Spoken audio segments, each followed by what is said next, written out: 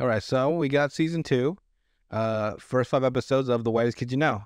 Now, I don't know how to explain this properly because season two, they had moved from where they were before, which I think was Vice, Mhm. back when Vice had, had their own little network, I think. Yeah. And uh, they were there for a season, and for whatever reason, they moved to IFC, is what I remember. Like somewhere they were explaining it on some document, like a little like in between, like uh, they were like promoting an IFC, Mhm. so they would explain stuff like little like clips and stuff, like little interviews with throughout their like uh broadcasting on the channel. And uh, I don't know where I heard them talk about this, but uh, they get to IFC and uh, episode one drops, and it's like a fucking like it was like banger after banger after banger. Like every skit in episode one of season two was like that was when I first actually that was the first episode like huh.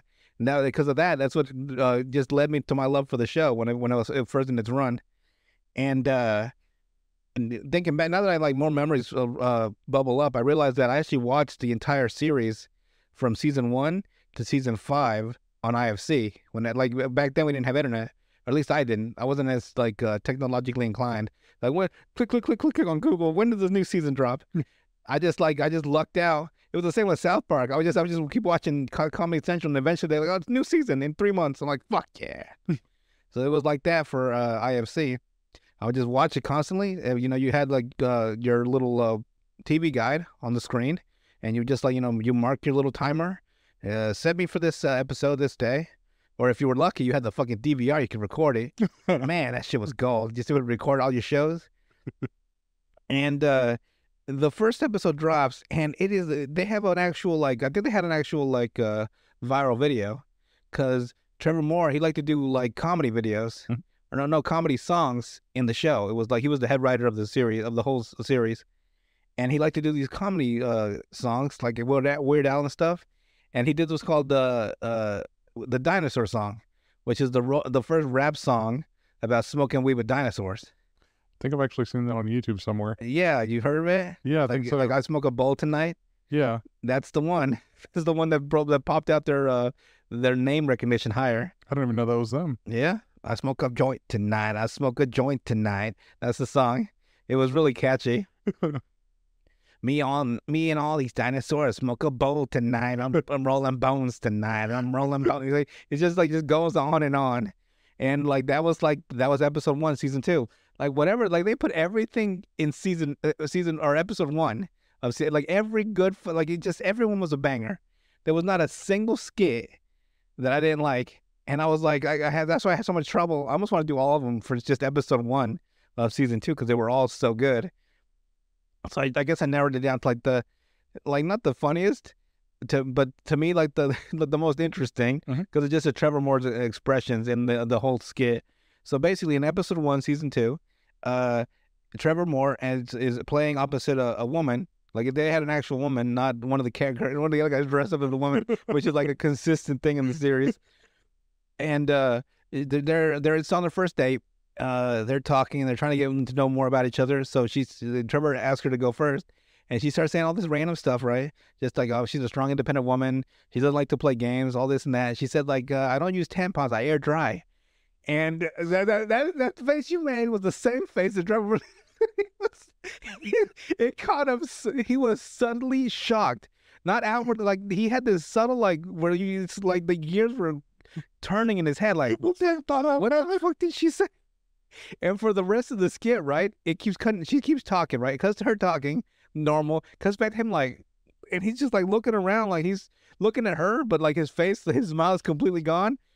And he's like, he's like trying to process what the fuck. She yeah, she air dries. She doesn't use tampon. and that was not even like the funniest ones. Like the uh, off the bat, uh, the first skit of the the, the new episode of the season. Uh, Sam is or Trevor's waiting for Sam, uh, to get out of to come out, of the house and meet him up at the, on the side of the street. Right. Sam gets there and his fucking nuts are hanging out of his fucking uh, t- of, of, of, out of his jeans. And he's like, "Oh, it must be these weird jeans." Like he's like, "What the fuck do the jeans have to do?" I was like, "I don't know." My boss like, and like it was IFC, so back then they were really they were uncensored. So it's Yeah. just like a pair of balls just hanging out, completely uncensored. oh man, I missed that show. There's no real way to get it back though. With Trevor being dead. You know, it's only four of them now. Yeah. So without Trevor, it's like he was like the actual like I feel like he was the main. Like the glue that held it together. Yeah, like he was the like the one like without him, like, I'm pretty sure it wouldn't be like I'm sure it'd be great, Mhm. but not like the level that it was. Yeah. So we go to episode two, uh, season one, two, and it's it's it, you can tell how dumb I am by the simplest thing bring me joy. It's just Sam walking down the street, right? Like he's walking, like the camera's on. I'm assuming it's on a trolley going back, and he's following the camera. But you know, you're not supposed to acknowledge the camera, so he's just walking down the park, having a good old day, and you see Darren running fucking full hilt behind him. Gets up right next to him and punches him right in the fucking stomach as hard as he can. He's like, "What the fuck did you do that for?" And Darren's just like, "You can see me," and he fucking books it. That was the whole skit. That's it. He just fucking punched him in the stomach and ran. I don't know why I found that so just so delightful. Plus, you can tell that uh, Sam put on a, a thicker jacket so he can take an actual punch to the stomach. they probably put some cushioning there. It's because he fucking socked him in the fucking stomach. oh man. uh, okay, so season uh, two, episode three. Uh, you we meet. Uh, this is one of the recurring characters actually. I think she had another skit, maybe two more. I think I think I just one more called Weird the Stripper, and it, it's Darren. Darren and like he had like the fake boobs on too. So he's like, imagine just Darren in like a booze and like a fucking wig, and it's still Darren. so it's uh, Timmy, Zach, and Trevor, and they're going to. Uh, it's Timmy's birthday, and they're going to a strip club, to, you know, for his birthday. And uh, they they settle in in this little spot to sit down. Trevor sits down. Zach and Timmy sit down, and then Zach and Timmy get up to go get Timmy some drinks at the bar. And uh, the stripper that was there for a second uh, on the pole, she leaves, and then uh, Darren comes in, and uh, her, her her stripper name is Weird the stripper, and it starts off normally, right? So uh, Trevor's like, so what would you do for a dollar? And she'll take her top off for a dollar. What do you do for two dollars? She'll uh she'll point at her she'll point her butt at the person who gave her the two dollars. For five dollars, she'll point her butt and slap it. So she'll point her butt at the person and slap it. For ten dollars, she'll play with her boobs, lick her boobs, and spit on her coochie or her cooter, as she said, I think. Uh, for twenty dollars, she'll get a, she'll give you a lap dance, uh, and then it then it then it fucking falls off the rails from there. For a hundred dollars, she'll take you to the VIP room in the back, slip into some lingerie, and then she'll staple her hands shut with a staple gun. And so Trevor's like, "What the fuck did you say?" That's what I'm thinking. And she's like, "That's right." Like, he said, "Why would you do that?" Like, "Cause you gave me a hundred dollars." Like, wait, wait, wait. So, so he realized that the whatever money she gets, she does something. So he's like, "Okay, so what do you do for seventy five dollars?" And she said, "Uh, for seventy five dollars, she'll eat a whole fish, bones, skin, everything." yeah, she's weird, the stripper. So then she, uh, Trevor calls over Zach and Timmy to for this weird thing. So they start talking to her. So he's like, "What do you do for seven dollars?" And she'll drink a whole a gallon of uh, milk through her asshole. for seventy five cents, she'll eat it. So she'll eat the seventy five cents. Uh, for three hundred and four dollars, she'll write you a speech on any subject you want. That's hilarious. For four dollars and thirty six cents, she'll go to the store with you. For four dollars and thirty seven cents, she'll paint you a picture of a dolphin. For four dollars and thirty eight cents, she'll get a uh, she'll give you a, a blow job. And Trevor's like, there, there's that one. so you get a BJ for four thirty eight. For a million dollars, she just says hamburgers. So I don't know what it is about it. She, she doesn't tell you what it is, but she's like hamburgers. So then they leave. The skit's over. but I, I could I know there's gonna I think there's one more like in the later season. So uh, with that, because that was one of the ones that actually caught. I was just random. It's fucking hilarious. Wish it would have been more like fucking like number stuff. like for eight dollars and seventy two cents, what do you do? It's like I'll I'll, uh, I'll fist fight a donkey. Just the most random shit ever. Just the fact that she has not she has things for every fucking price range. You know, it's wild. and some of it's affordable. Yeah, the blowjob's only four thirty eight. uh, there, there. I have a bonus one for episode uh three. Uh, so Timmy, uh, so uh, Trevor, Zach. So Trevor's playing the dad, Mhm. and uh, by the way, in season two they had more budget, so they actually dressed up more like an actual like different character than just themselves. Instead of just a, a cheap wig. Yeah. And so Trevor's the dad, and uh, by by the way, Zach always fucking goes full out to whatever he's fucking doing. If he's playing a director, uh, if if he's playing uh, a a, woman, a, a drama teacher, whatever he's doing, he's just he's that character. Like he just he just like melds into that character, and he's so like Zach's gone, and that character's the real person. So he's he's the uh, the wife, and uh, they're getting ready for a dinner party with their guests. And Timmy's the son, and like for Timmy's easy, he just he just sat on his knee, he just stood on his knees to look shorter because the camera angle has angle down for Timmy, angle up for the parents because we're looking up at them as the kid and we're looking down at Timmy as the child. I guess I'm learning more cinemat- cinematography lately. Yeah. And uh, so Timmy's excited, like, "Hey, how about you put your, this painting up on your uh, on your fridge for the for the party?" And it's it's clearly a dick. It's balls, wide balls, and a big dick w- with the head, right? And he says it's an elephant, but it's clearly a cock. It's clearly a cock and balls with like an, a little one little eyeball that he put for the eye. And uh, at first they're like they're, they're confused as to what it is until he tells them it's another because they, they see clearly see a dick. You see a dick, so they're like, uh, "What is it?" Like, "Oh, it's an elephant." So they're like, "Okay."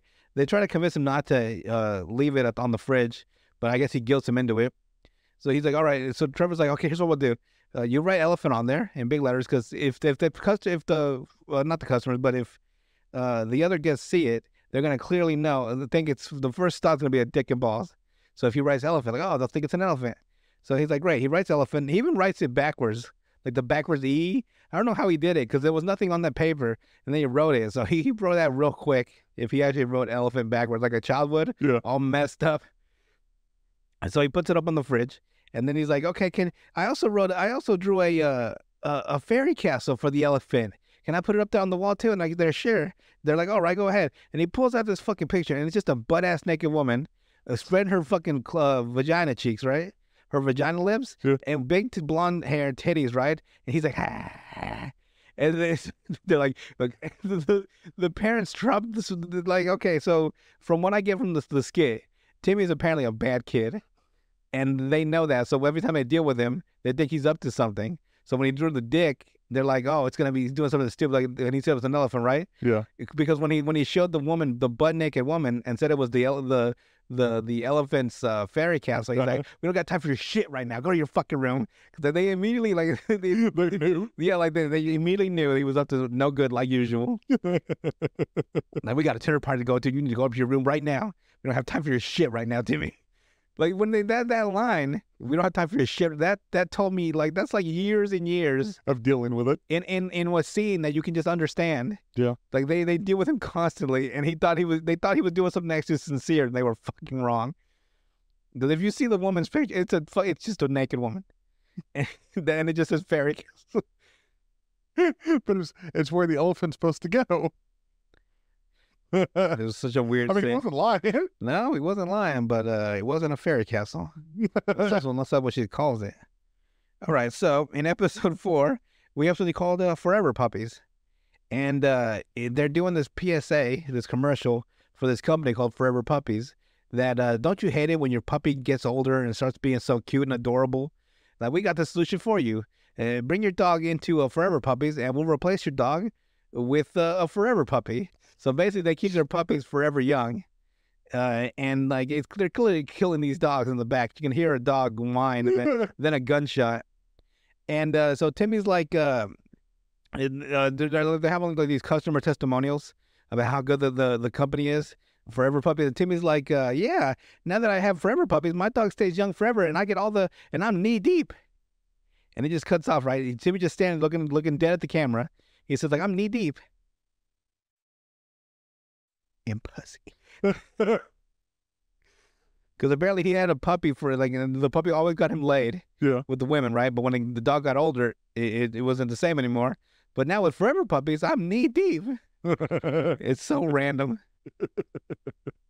All right, last one is episode five of uh season two, and uh it's not so much funny as fucking just out there.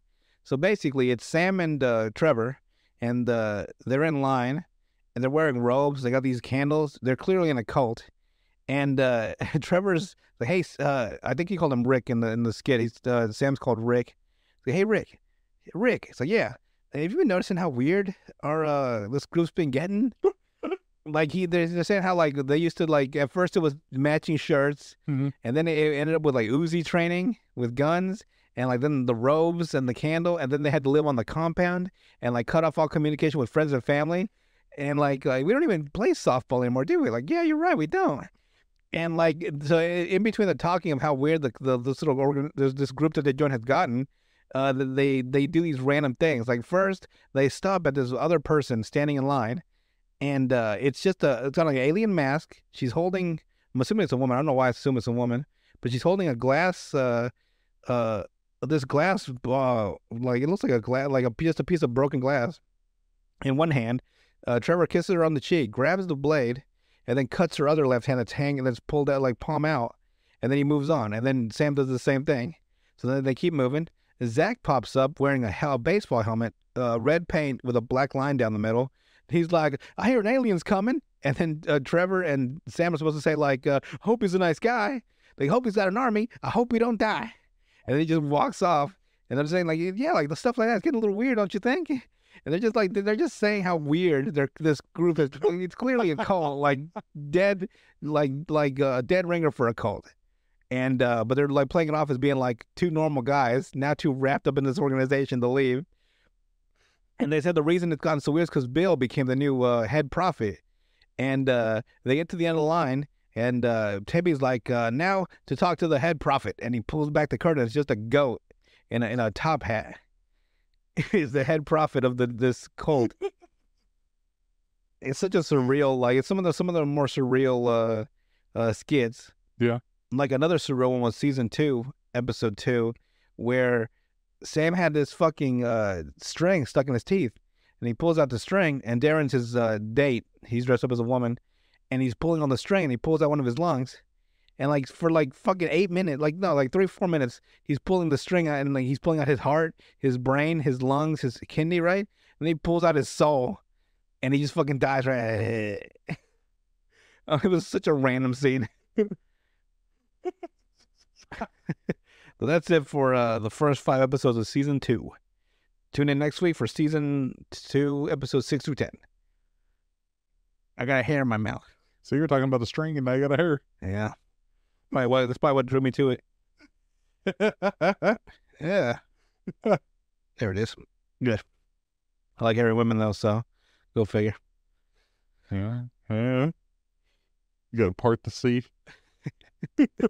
Part that fucking forest.